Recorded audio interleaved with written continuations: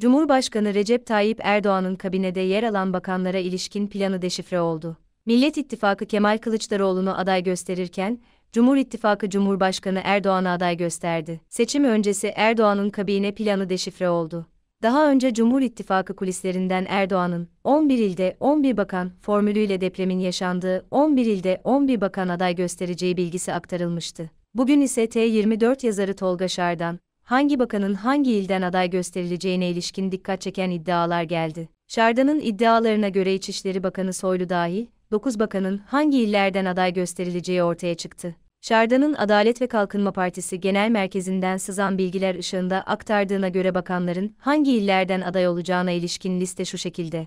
İçişleri Bakanı Süleyman Soylu büyük olasılıkla Kahramanmaraş'tan aday gösterilecek. Daha önce Trabzon ve İstanbul'dan milletvekili olan Soylu, bu kez Kahramanmaraş'tan şansını deneyecek. Milli Savunma Bakanı Hulusi Akar, Gaziantep'ten listeye konulacak. Akar için memleketi Kayseri de değerlendiriliyor. Ancak AKP'nin önemli isimlerinin aralıksız 3 kez milletvekili seçilme kuralının işletilmesi halinde parti tüzüğüne takılıp takılmama durumuna göre kesin seçim bölgesi belli olacak. Bu arada yine ilk kez TBMM'ye girmesi beklenen Sağlık Bakanı Fahrettin Koca Şanlıurfa'dan listeye girmesi öngörülüyor. Aslen Konyalı olan Koca'nın kendi memleketinden adaylık durumu, Konyalı olan Gelecek Partisi Genel Başkanı ve eski Başbakan Ahmet Davutoğlu'nun adaylığı ile netleşecek. Hoca gibi Konyalı olan ve ilk kez Türkiye Büyük Millet Meclisi için milletvekilliği yarışına girmesi beklenen Çevre, Şehircilik ve İklim Değişikliği Bakanı Murat Kurum'un öncelikle Hatay'dan listesi konmasının benimsendiği kaynaklarca ifade ediliyor. Kurumla ilgili yapılacak seçim bölgesi değişikliği tıpkı Sağlık Bakanı Koca'da olduğu gibi Davutoğlu'na bağlı kalacak.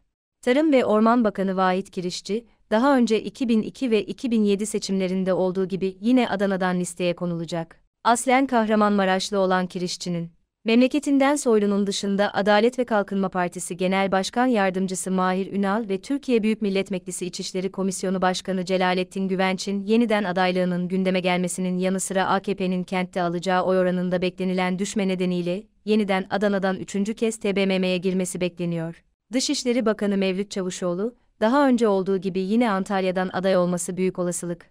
Etnin yasalaşmasında yoğun çalışan Çalışma ve Sosyal Güvenlik Bakanı Vedat Bilgin'in, Bayburtlu olmasına karşın, depremde ağır hasar alan kentlerden Malatya'dan aday yapılması gündemde.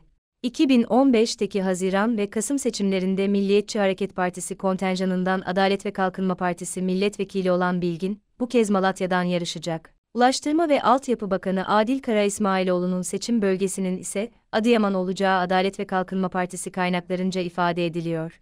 Aslen Trabzonlu olan Kara İsmailoğlu, Erdoğan'ın onayından geçmesi halinde Adıyaman'dan Türkiye Büyük Millet Meclisi üyesi olamaya çalışacak. İçişleri Bakan Yardımcısı Mehmet Ersoy, 24. dönemdeki Sinop milletvekilliğinden 10 yıl sonra ikinci kez TBMM'ye girmeye çalışacak. Ersoy'un Muğla'dan aday olması yönünde listelerde yer aldığı öğrenildi.